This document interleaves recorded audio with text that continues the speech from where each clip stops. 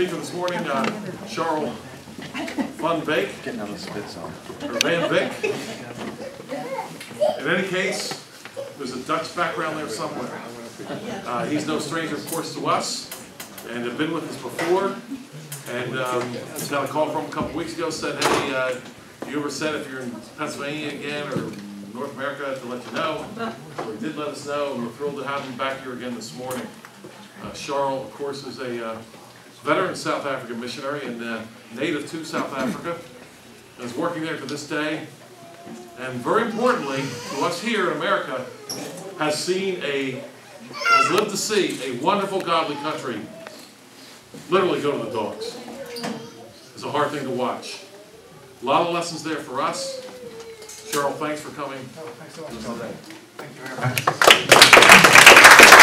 much.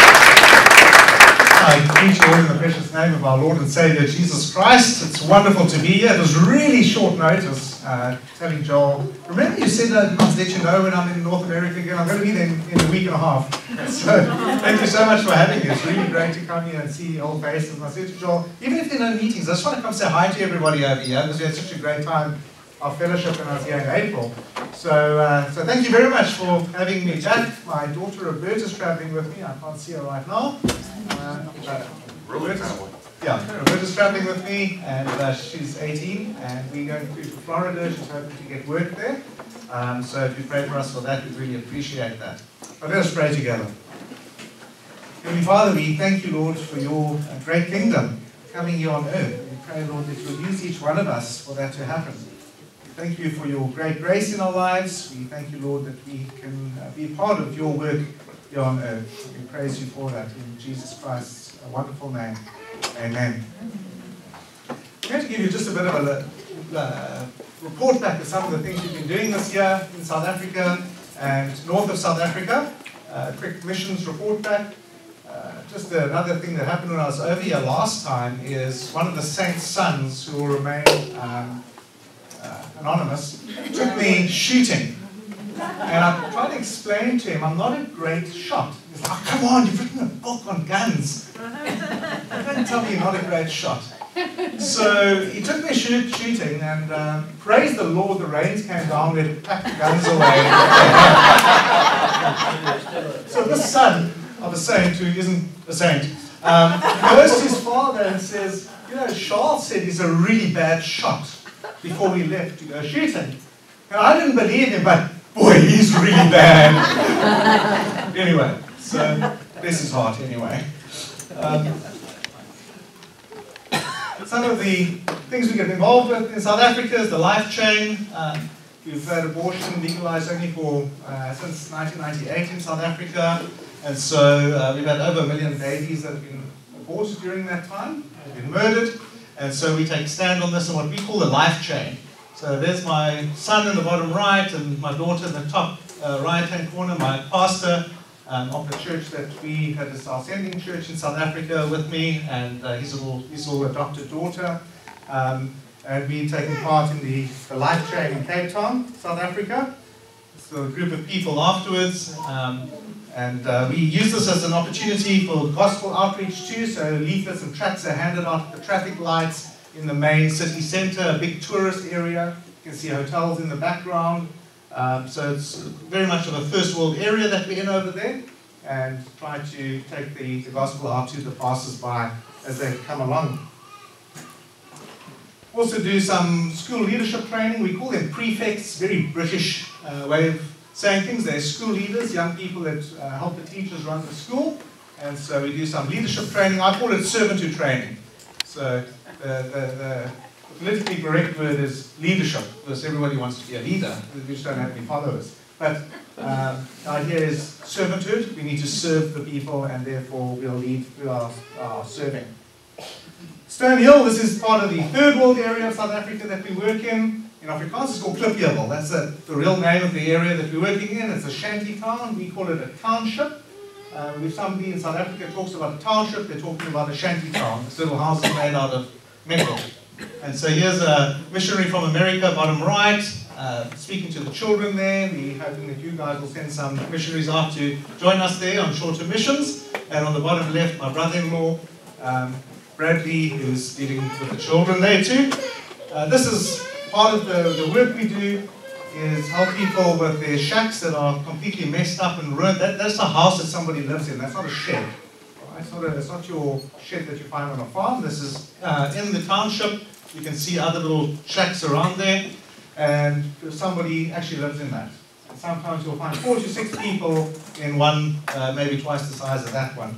And so that one was completely wrecked, so we helped put up a new one, and there the people's new little metal shack is um, with our ministry men that get together and help. Now, lots of the people in the community also help with this themselves, so we, we try and raise the funds to uh, go out and, and help these people. Um, and we don't go help able-bodied men that can do jobs themselves. We try to help those who are widows, those who lost their husbands, husbands that have uh, walked out from the family, uh, there's trauma at home, and so uh, that's when we'll get involved. We have on one occasion, which I mentioned last time, helped somebody who is the local uh, thug in the area, he's the drunkard. We helped him to show God's grace and God's mercy to the community, uh, and the people were really upset with us. Because why must the drunkard in the community who swears and causes havoc be the one to, to get uh, the grace of the mission to, to help out? That was a teaching point.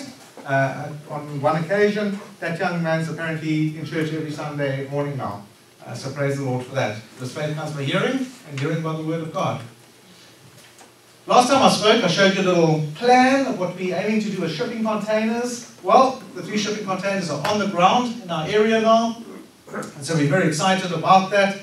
Uh, this is the truck coming in to uh, deliver those. I sort of read the scripture to us. Luke chapter 9, from the beginning. And he called his, his 12 disciples together and gave them power and authority over all demons and to cure diseases. He sent them to preach the kingdom of God and to heal the sick. Notice it, he sent them to preach the kingdom of God. And he said to them, Take nothing for the journey, neither staffs, nor bag, nor bread, nor money, and do not have and do not have two tunics apiece. Whatever house you enter, stay there, and from there depart. And whoever will not receive you, when you go out of that city, shake off the very dust from your feet as a testimony against them. So they departed and went through the towns, preaching the gospel and healing everywhere. So Christ told them to go preach. He didn't say the gospel, he said, go, go preach the kingdom of God. And then later says they went out and preached the gospel. Aren't we onto something here? Aren't we talking about the same thing? And so that's very much what we are teaching these young people in this area is we're teaching them about God's kingdom. Um, obviously, personal salvation is a starting point to that, but that's not the be all and end all of the gospel. It's not about us, it's about God and His kingdom. And so when I speak to these young people, we're preaching there at the Sunday evening services, we're starting off with our God reigns, He's the King, He tells us how we worship Him, and it's only through his son, Jesus Christ, that we can communicate with him. So therefore, all the ancestors are not very helpful at all. Because that's what they do. They worship God through their ancestors. Um, and so we're going to start laying the foundation about who's in charge, what is commanded us.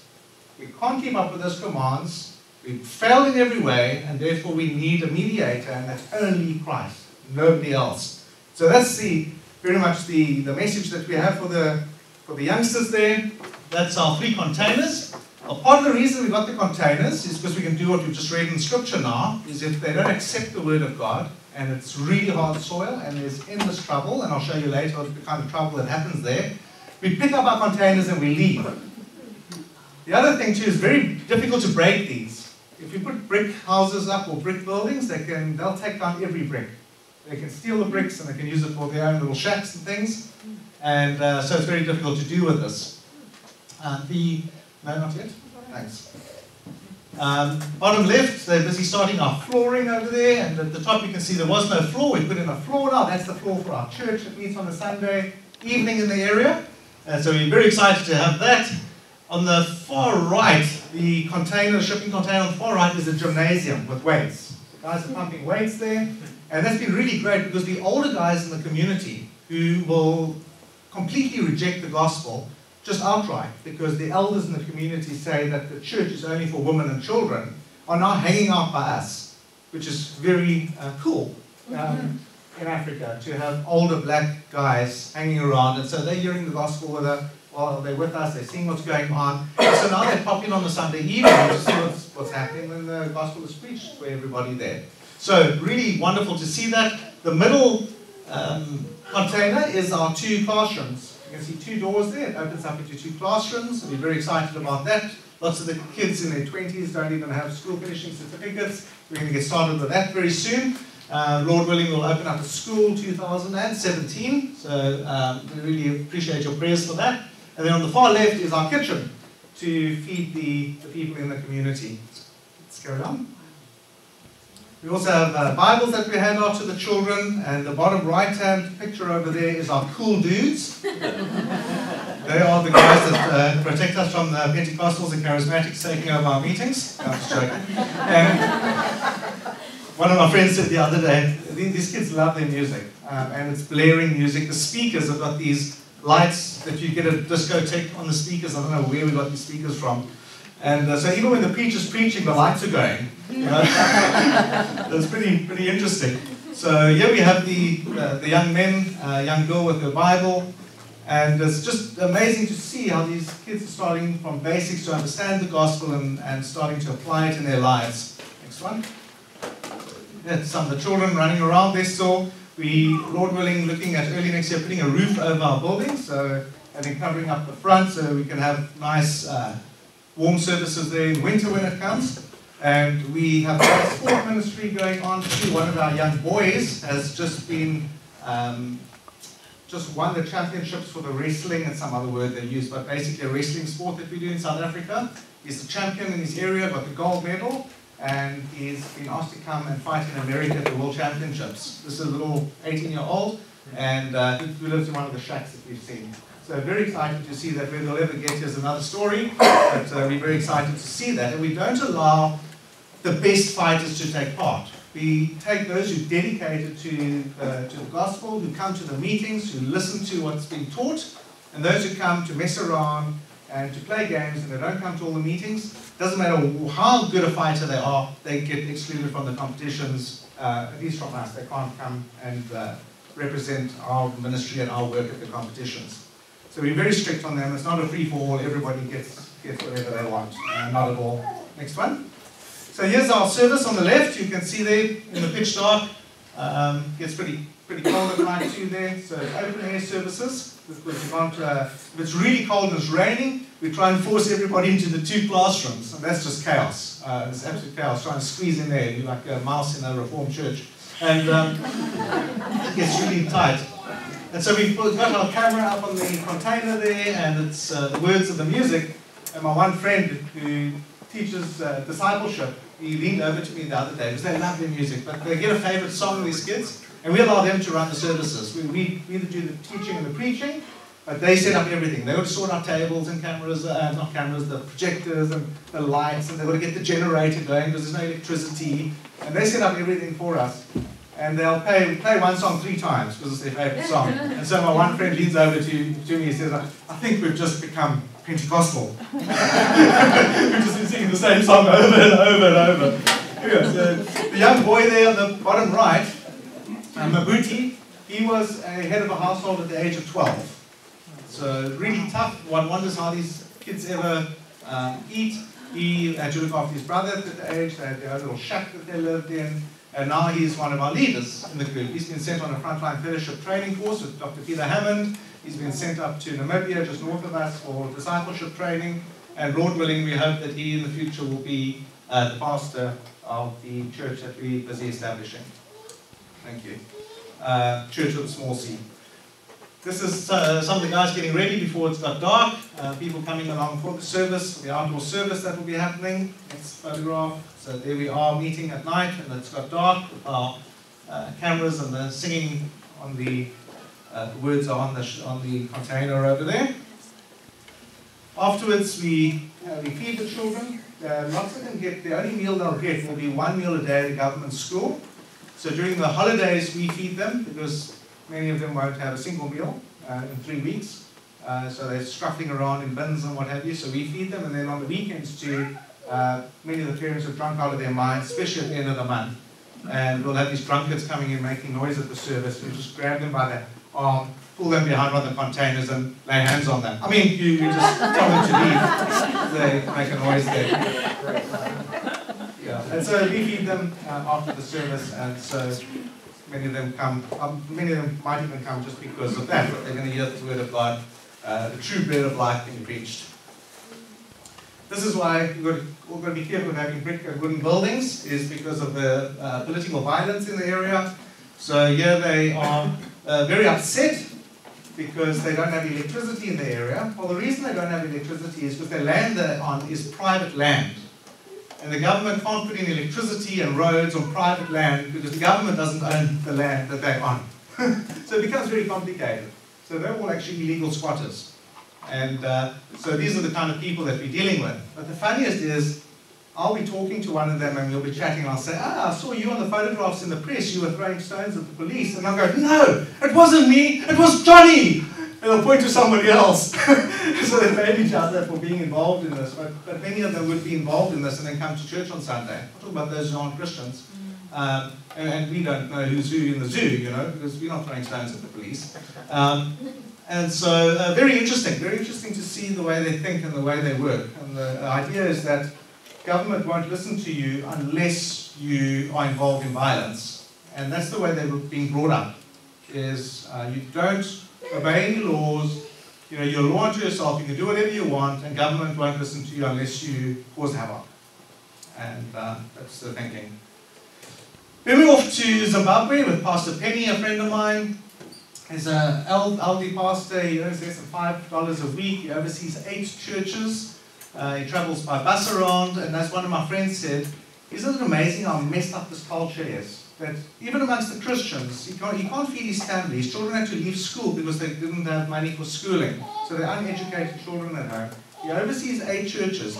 When he dies, they will buy cattle to slaughter, and they will rent buses. The churches will get together to rent buses to bus everybody to the funeral. Now that's the leftovers of their messed up pagan ideas and, and uh, ideology and philosophy. You know, the, the, the dead, uh, because they are the ancestors and they the go between between you and God, are revered. So you can suffer, die, your kids can be un, uh, uneducated, and you can have, you know, oversee eight churches on five dollars a week. Uh, nobody cares. They won't bother to feed you because they're all struggling to put food on their own tables. But once you're dead, excitement happens. Then the circus starts. So that's what happens here. And so we're trying to help uh, Pastor Penny, my friend in the red over there is Cosmo. He's a local Zimbabwean. He works with us in South Africa too. He's worked around the world. He's been trained up Operation Mobilization in um, what they call community uh, development. So he's very jacked up on these things. Let's carry on. And so I was speaking to InTouch Mission International's uh, director, Steve Evers. We're telling him about this project that we want to get started to help the pastor and his family uh, breeding rabbits and chickens for them. And Steve uh, said, well, how much is that going to cost? I told him, he pulled out about 70% of the money and gave it to me straight across the table and said, get on with the job. So by God's grace, Cosmo went straight up to the pastor, started digging holes there, carry on. And he built the chicken coop, which is on the bottom left. The bottom right is a rabbit hatch. The reason the rabbits are up in the air is because the wolves and the jackals uh, love to eat them. So that's why they're up in the air, and also so that the rabbits don't pick up diseases from the ground, which they're susceptible to. Um, the chicken coop is the one, the brick one on the side, and there's been a major um, heat wave in the area. There's drought in the area at the moment. And Cosmo said he came in to see what was going on with the little chicks. And he saw the pastor's wife, and she's standing crying, speaking to the chickens, saying, the heat will pass, the heat will pass. So it's just amazing. She's like really begging these chickens. I doubt they're ever going to get to eat the things. But anyway, they can sell them off and help support the family. Carry on. That's uh, what a rabbit looks like after it's been what we call braaied, prepared on the barbecue. That's a barbecued rabbit, uh, ready to eat. This one died. They didn't kill it, it died from the heat. Uh, but the idea is that they're breeding the rabbits to be able to sell to the community to eat, because the people eat rabbits, part of their staple diet there.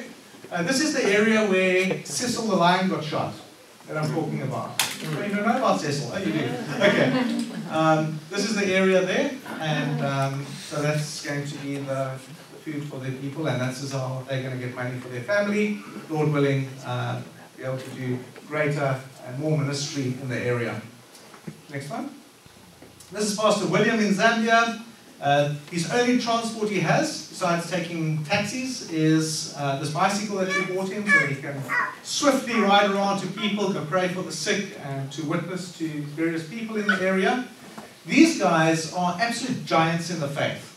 They don't know the arguments and the debates on, on homosexuality or on pornography or on abortion. To them, it's wrong for one reason because God's word says so.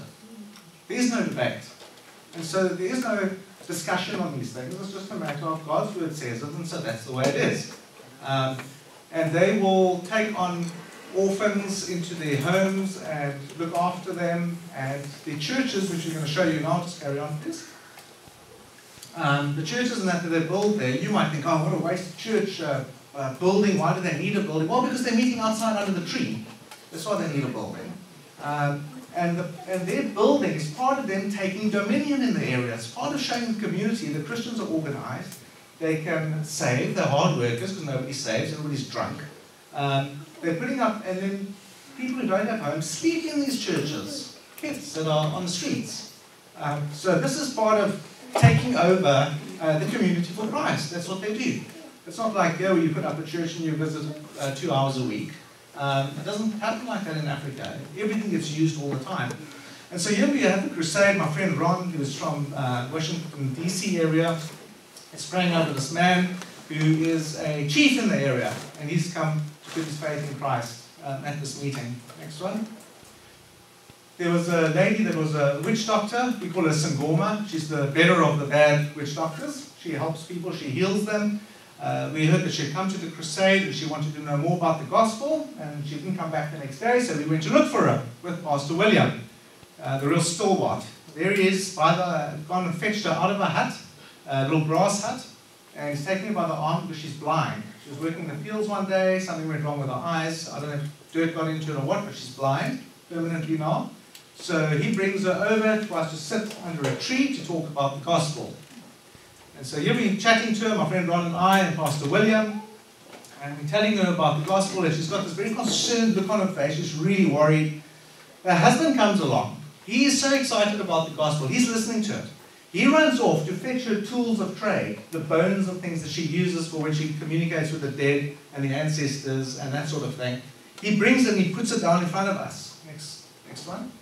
And he pulls out one of the items and he says, this is what my wife uses this item for. It's a little, uh, little uh, thing that you can see there, a wooden thing. Uh, it's got a bit of a, um, it's like a cone. So when somebody is ill and sick, they come to the Sangoma, the wife, because she has special powers from God and through the ancestors, and it's all demonic. And they come to her, and then she cuts them. She slits their arm open so that blood comes out. Then she puts the cone on the blood, over the blooded area, and she sucks the blood into her mouth through this vacuum uh, in the cone. Then she decides how she needs to help them. So that's, that's her life. That's how she makes her money. That is how she provides for the families by being a Sangoma. Next picture. So then he's showing us putting it on the arm. This is what it looks like. And then he showed us you, you suck through that uh, contraption and suck the blood into your mouth. So she decides she's going to put her faith in Christ. So we say, well, if you're going to do that, you're going to go burn all your tools because it's over and done with. You, and that happens so often in Africa. The true gospel and the full gospel doesn't get told to the people. And so they'll carry on going to the Sangoma. They'll be in church on Sunday morning when their child's sick. They'll be at the Sangoma, the witch doctor, in the evening with the child. And so we say, no, everything has to be destroyed. Our God's a jealous God. There, is, there aren't any other gods. Uh, demons can all go to hell, back to hell and you need to put your faith completely in God to provide for you too. And so we go and we blend the tools. Her husband was so excited about this, he ran along and he lit the fire. yeah, he was just completely taken up with the gospel. It was like mind blowing for him. And uh, so he started the fire and he took his wife's stuff. She's blind, she can't see anything. So he, he dumped the stuff in the fire. We stood there praying while it burnt to smithereens. And uh, the woman's whole demeanor just completely changed from being this very concerned and very uh, sour looking face all the time to like just completely relaxing, like it's all over. Um, so very exciting to see. Now this is Pastor Williams' uh, ministry. He's now going to look after this woman. She comes to church now and again. Obviously, she's very old and she's frail and she's blind. But when she can get to church, she comes to his church and uh, comes to, uh, to worship with the saints. And we left some funds there for him to help her so they can establish you know, some fields and that. They've got fields already, but to uh, grow their fields and to help uh, put money on the table for her in a newfound faith. Next. So here's the, the church building that they're putting up. As I said, this is part of their taking dominion of the area. Um, in the same context in America, it might not mean that, but this is them with the gospel being practical, uh, getting out there, making a difference, and uh, through a lot of stories which I won't go into now, they really struggled. They got the land onto their name, and they put the building up to roof height, and they just it's just completely depleted the whole congregation. They've got no more money to carry on. So the pastor asked me if we could help, and um, I put it out in my newsletter about God's grace. They're not just getting the roof they asked for, they're getting doors and windows too. And uh, very, very excited about that. And when we're talking about doors and windows, don't think American style. We're talking about pieces of metal put onto some wooden frames. There's no, whatever you call these things, um, ceilings. There's no electricity. There's no ablutions. We'd love to help them with all those things, but at the moment they're going to get uh, windows, they're going to get doors, and they're going to get a roof over them. So praise the Lord for that. Very, very exciting to see. And so thank you. You guys have uh, supported us uh, through your elders, and thank you very much when I was here last time. You gave us uh, very nice financial support.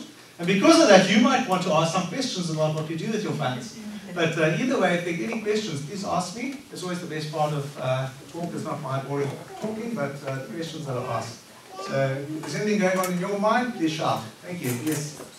The um, church being built with brick, is that anything um, negative as far as would they come and take the bricks off the church? Oh, not in this area. This is outside of South Africa, and it's, um, the people are not uh, forced into a township style where they're living in a shanty town. They're living uh, very much in the old-fashioned way in grass houses, grass huts, and so uh, brick building like this to them is really they're stepping up in the community. And that's a big question that missionaries have struggled with for a very long time, for over 100 years in Africa, is do you live like the people you are ministering to, or do you set up your you set your standards higher so that they can see that they can come out of the dirt that they're in and actually build something constructive and you know get somewhere in life and work hard and be productive and that sort of thing. So it's been a big question. We, we prefer to go the route where we set the standard higher for them and not accept their useless standards. I mean, people that worship their ancestors, they cannot, they cannot produce anything. They're like communists. They can only break, they can only destroy, they can only wreck, they can only pull to pieces. That's why Africa looks the way it does. They cannot produce anything. So the Westerners come in, they put up buildings. We can't even maintain the buildings. That's how useless we are. Uh, completely unproductive. And, and they really, they have this death wish in their philosophy and their ideas of life. Uh, to, to give you one idea, if you saw two farms in Zululand, and the one is owned by a Christian and the other one by, and this literally is true, and a pagan, those who are worshipping their ancestors, um, you'll see that the farm of the Christian is beautiful, uh, lovely, lovely fields, growing lovely and uh, absolutely excellent, and the guy next door's fields will be wrecked. He'll ruin his own crop because if he has a great crop, the ancestors might get upset with them and cause disease and, and uh, cause trouble in the family for him. So when you've got that kind of mindset, no wonder Africa looks the way it does.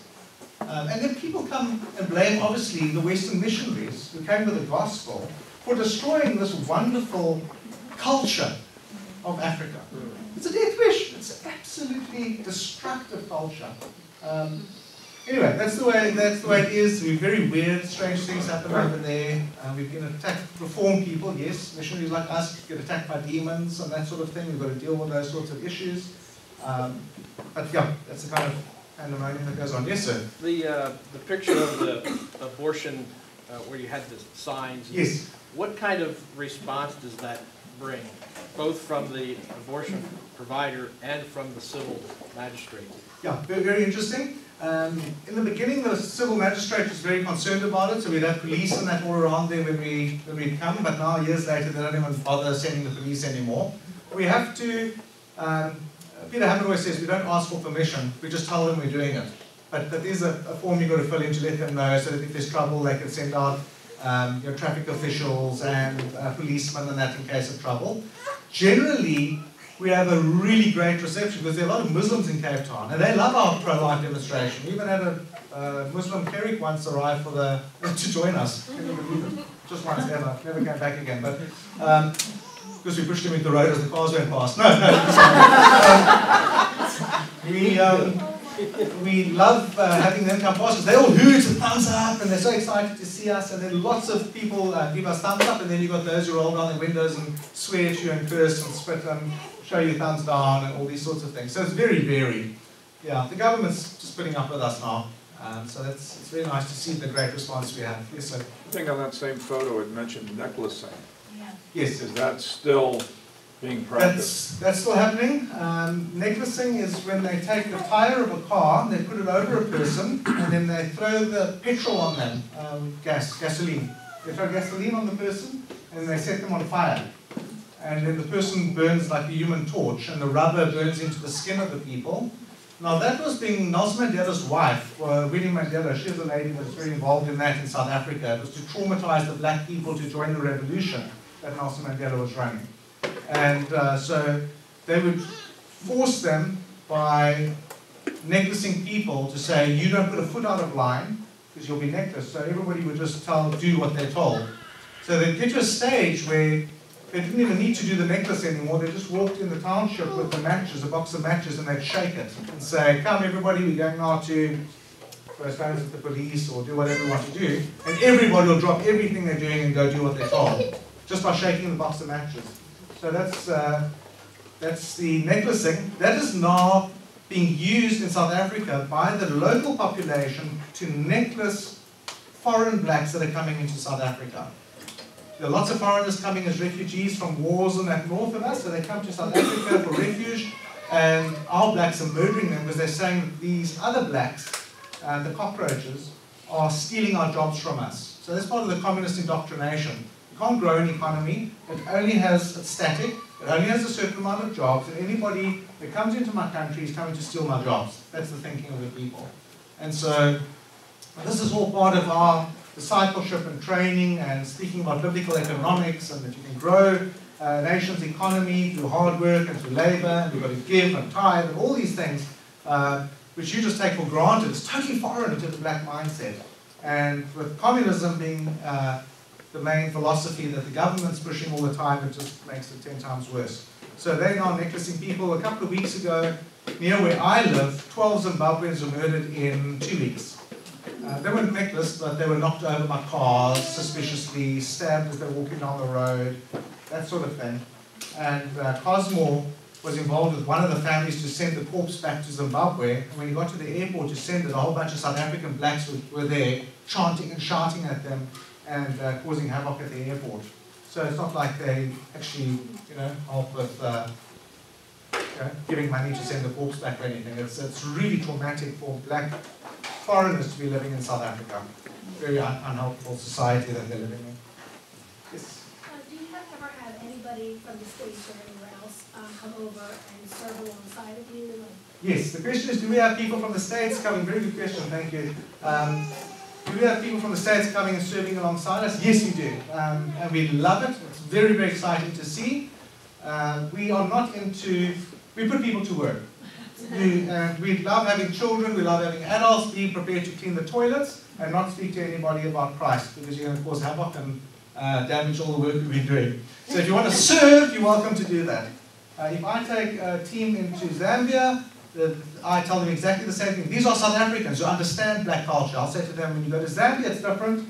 You don't speak to people about the gospel. That's what the leaders will be doing. You serving the leaders. And so you clean the toilets, you work in the garden, you do what, you paint the house, you do whatever you need to do there, but you're not there to give the gospel to the people because they just ruin things. Uh, just as one example, I was telling Joel last night, um, I've got friends here in America whose children go over $5,000 a pot for two weeks to um, Africa to play with orphans.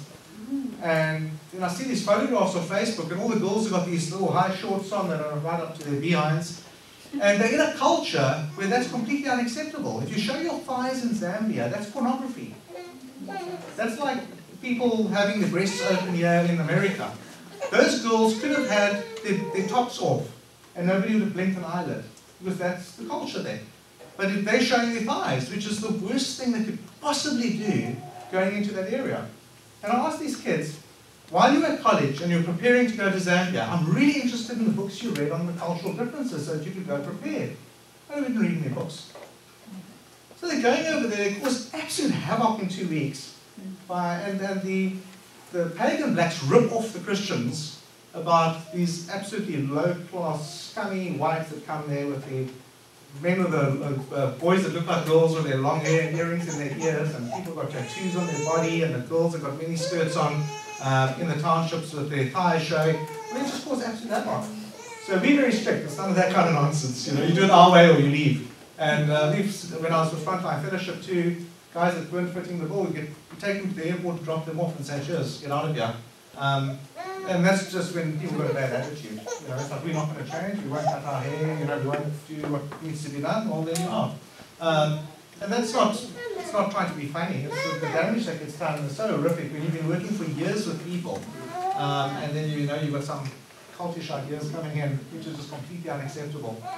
And we're not trying to say that you know you got. You, it's, it's very funny because some of the churches in the areas they have their ideas. Like in, um, the area we work in, there's one church you can't you can only join the church if you've got hair on your head as a man. No, if you don't have hair on your head, you've got to shave your head to join the church. And so they make all these little rules and things up, you know, and that's they come to us now hearing the true gospel, but this is the baggage they come with, all these sorts of weird ideas. And so when you're working amongst people like that, you've got to understand what you're dealing with, you know, and uh, and take it from there. Yes. In those areas where you- you're working the, the third worlders, do white people live there, or is it only black people? Like, Um, in this specific area, we, uh, we differentiate between coloureds and blacks.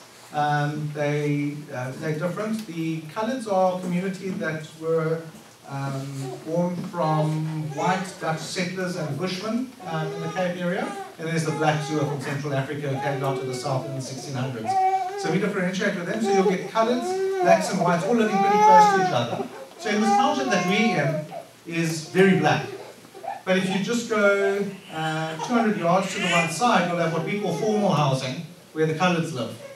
And they think they up and above the black people. So when there floods in the area, the coloured church wouldn't allow black people in their church to get out of the rain and the floods when their beds and everything are underwater because they, you know, how can they be Christians and stay in the church?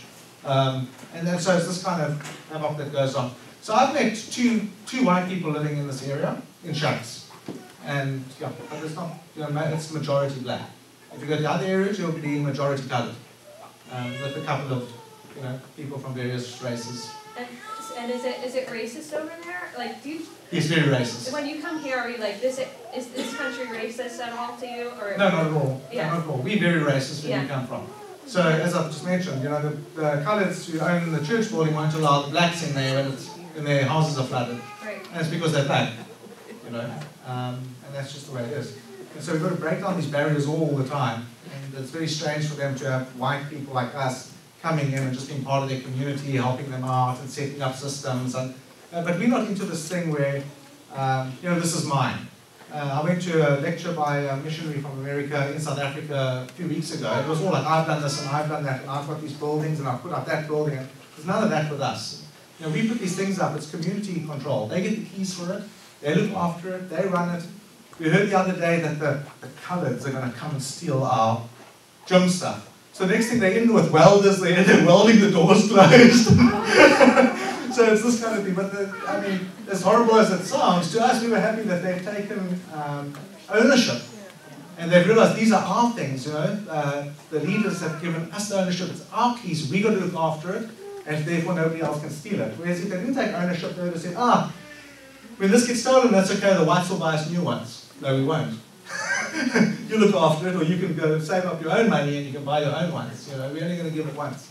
So that's very much the idea. Good. Well, thanks again. It's uh, quarter to 12. Thank you so much for having me. It's been great chatting to you. I really appreciate your your um, your elders and your uh, congregation. You made us make us feel so welcome when we're here. Quickly stand up. I told them you were here and you, you weren't here. This is uh, Roberta, my 18-year-old daughter, who's traveling with me. So um, she's going to be looking for the job in uh, Florida. We aim to go down there tomorrow. So appreciate your prayers for her. Great. Have a seat. Right, let us pray. Heavenly Father, we thank you so much, Lord, for this congregation who takes your word so seriously. We thank you, Lord, for your, your gospel uh, kingdom message uh, that you've given us to take to the nations.